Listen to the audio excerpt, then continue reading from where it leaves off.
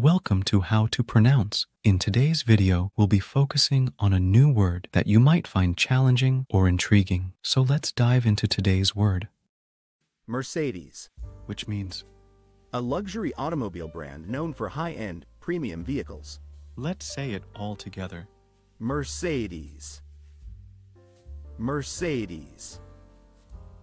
Mercedes. One more time. Mercedes. Mercedes. Mercedes. Thank you for joining us on this adventure in pronunciation. Remember, language is a journey, not a destination.